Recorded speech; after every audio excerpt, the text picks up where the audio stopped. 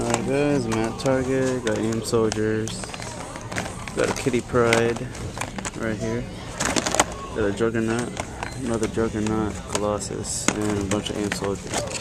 So Archangel is gone already, I missed out. Also got the two packs, these three.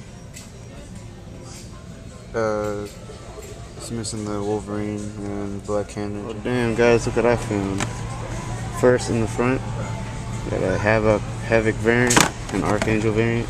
I want the normal one though, this one's so ugly. Juggernauts, Colossus, and AIM Soldiers.